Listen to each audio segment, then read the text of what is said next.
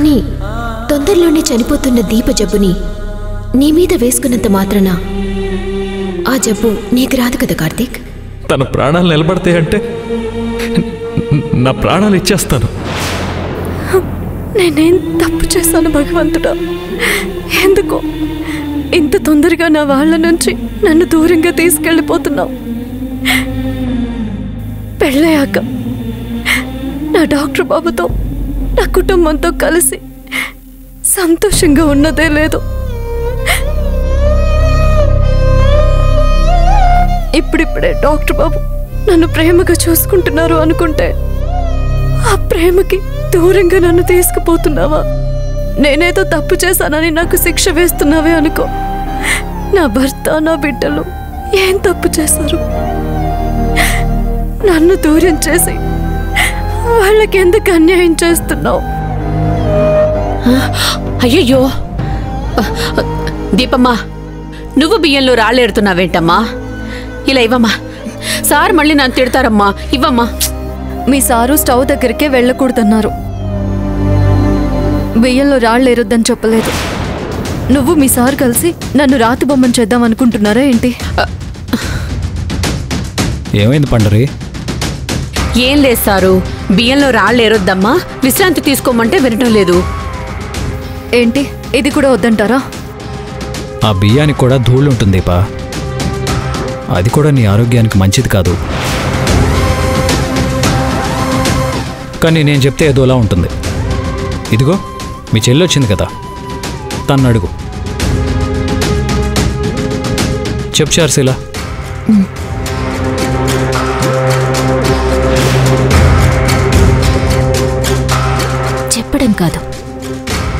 దీపని నా చెప్పు చేతల్లో పెట్టుకోవాలి. రేపు దీపకి తాను పోతానని తెలిసినప్పుడు కార్తీక్కి నన్నిచ్చి పెళ్ళి చేస్తే బాగుంటుందన్న ఆలోచన రావాలి. వచ్చేలా చేస్తాను. అప్పుడే కార్తీక్ ఆస్తికి నేను యజమానురాలనవుతాను. నీ ఆరోగ్యానికి మంచి చెడు అన్నది పక్కన పెడితే మేమందరం ఉండగా నీకివన్నీ చేయాల్సిన అవసరం ఏముందక్కా నువ్వు రాణిలా అలా కూర్చుంటే నీ చెలికత్తెల్లా నీ సేవలు చేసుకుంటాం. అయినా నువ్వేం చేస్తున్నావు పండరి? ఇందుకోసమా? నేను నిన్ను ఇక్కడ పెట్టింది? జాగ్రత్తగా చూసుకోవాలి కదా. అక్క చేత పనెందుకు చేయిస్తున్నా? అయ్యో ఇప్పటిదాకా అదే గొడవమ్మా. చెప్తే వినిపించుకుంటే కదా. వినిపించుకోలేదని? వదిలేస్తావా? ఈ రోజు నుంచి మా అక్కని మహారాణిలా చూసుకోవాలి. ఇలా ఇవ్వక్క. చారుశీల నాకు ఈ రాణివాసం ఏం అక్కర్లేదు. ఈ పనైనా నన్ను చేసుకునివ్వండి చాలు. దీపా ఇంతమంది చెప్తున్నా నీ మొండి పట్టుదల ఏంటి? వద్దని చెప్తున్నప్పుడు మానేయచ్చు కదా. అసలేంటి డాక్టర్ బాబు మీ అందరి గొడవ? బియ్యంలో రాళ్ళు ఏరుతుంటే ఏదో క్వారీలో రాళ్ళు ఎత్తుతున్నట్టు ఫీల్ అవుతున్నారేంటి?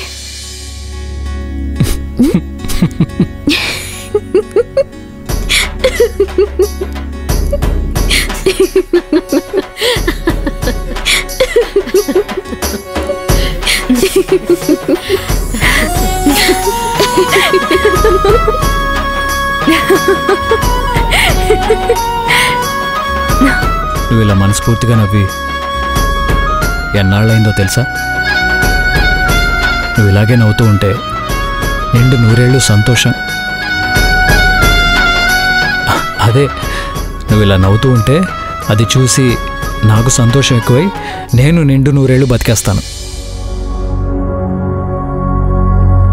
సార్ ఇంకా నిజం దాయాలని చూస్తున్నారు కానీ దీపమ్మకంతా తెలిసిపోయిందని సార్కి తెలియదు పాపం. నువ్వు నీ కోరికలని ఏవేవో అడుగుతుంటావు కదా. ఇప్పుడు నేను కోరిక కోరతాను ఇలాగే ఎప్పుడూ నవ్వుతూ నా ముందుంటానని. నాకు మాటివ్వు.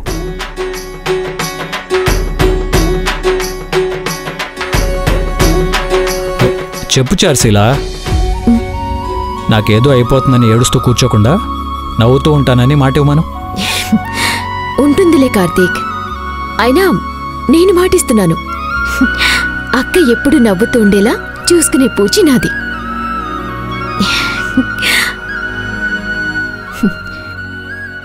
ఈ నవ్వులు ఇంకెంతకాలం ఉంటాయిలే? నీ గుండె ఆగిపోయేంత వరకు మాత్రమే.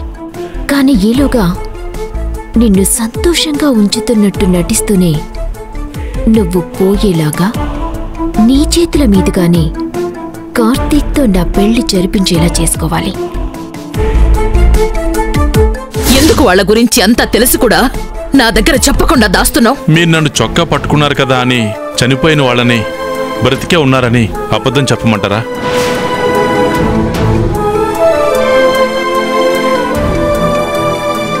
ఏదో అడుగుదామని ఇంద్రుణ్ణి తీసుకెళ్ళావు కదా? ఏమన్నా చెప్పాడా? లేదండి. ఎంత అడిగినా నిజం చెప్పట్లేదు. చెప్పట్లేదంటే ఒకవేళ తెలియదేమో? అబద్ధం చెప్తున్నాడని ఎలా అనుకుంటావు? వాడి మాటల్లో తడబాటును బట్టి అబద్ధం చెప్తున్నాడని అర్థమవుతోందండి. నువ్వు అలా గట్టిగా అడిగేసరికి భయంతో తడబడుతున్నాడేమో? అయినా మన దగ్గర నిజం దాస్తే వాడికేమొస్తుంది వాడికి తెలుసుంటే ఎప్పుడో సౌరికి చెప్పుండేవాడు కదా. చెప్తే వాళ్ళ అమ్మా నాన్నల దగ్గరికి వెళ్ళిపోతుందని చెప్పలేదేమో. అది అప్పుడు కానీ ఇప్పుడు శౌర్యను మనకిచ్చేశాడు కదా. ఇప్పుడు ఇంకా దాచాల్సిన అవసరం ఏముంది? ఏమో. ఏది నిజమో ఏది అబద్ధమో నాకు అర్థం కావట్లేదండి. అంత గందరగోళంగా ఉంది. ఎక్కడికి వెళ్ళావే పువ్వుల కోసం ఎదురింటికి వెళ్ళాను నానమ్మా. ఆ అంకుల్ కూడా డాక్టరేనంట. నాకు ఫ్రెండ్ అయ్యారు. రాత్రి నాకు పరిచయం అయ్యాడు. డాక్టర్ అంటున్నారు కార్తీక్ గురించి ఏమన్నా తెలిసేమో అడక్కపోయారా? ఏమో మన కథంతా చెప్పాలనిపించలేదు. అలా అనుకుంటే ఎలా అండి? ఎవరికి ఏమీ చెప్పకపోతే కొడుకు కోడలి గురించి ఎలా తెలుసుకుంటాం? ఆ అంకుల్ని పట్టుకొని అమ్మా నాన్నల్ని నేను వెతుకుతానులే నానమ్మా. సరే నేను కూడా మాట్లాడతానులే. అవును? హిమ ఏది? ఏమో నాకు తెలీదు. అ, శౌర్య చూడండి. హిమ గురించి అడిగితే చాలు. ఎక్కడలేని చిరాకు కోపం వచ్చేస్తుంది.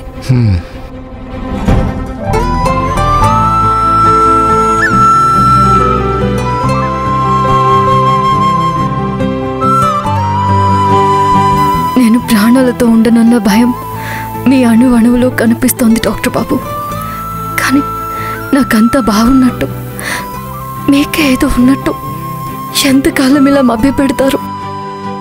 ఒకసారి ఎంఆర్ఐ కూడా చేయించాలి చార్సీలా సరే కార్తీక్. డాక్టర్ బాబు ఏదో అనడం నువ్వు సరే అనడం. సరిపోయింది. చెకప్ చేస్తున్నప్పుడు మాట్లాడకూడదు దీపా. ఆపండి డాక్టర్ బాబు. వచ్చినప్పటి నుంచి చూస్తూనే ఉన్నాను. చెక్కింగ్ల మీద చెక్కింగ్లు చేస్తూనే ఉన్నారు. అయినా మీ కొంట్లో బాగోకపోతే నాకెందుకు ఇవన్నీ చేస్తున్నారు? మీరెందుకు చేయించుకోవడం లేదు? నేను రోజు హాస్పిటల్కి వస్తూనే ఉన్నాను. రోజు చెకప్లు చేయించుకుంటూనే ఉన్నాను. నువ్వు రోజుకి అన్నిసార్లు డాక్టర్ బాబు డాక్టర్ బాబు అని పిలుస్తావు. నేను డాక్టర్ అన్న సంగతి మర్చిపోతున్నావా? సరే ఒప్పుకుంటాను. మరి నాకెందుకు ఇవన్నీ చేయిస్తున్నారు? రేపు మాపో ప్రాణాలు పోతున్నట్టు. దీపా. ఏంటా మాటలు? మాట వరుస కన్నాను డాక్టర్ బాబు. మాట వరుసకు కూడా కొన్ని అనకూడదు దీపా. నీకేదన్నా అవుతుందంటే పాపం కార్తీక్ తట్టుకోలేడు.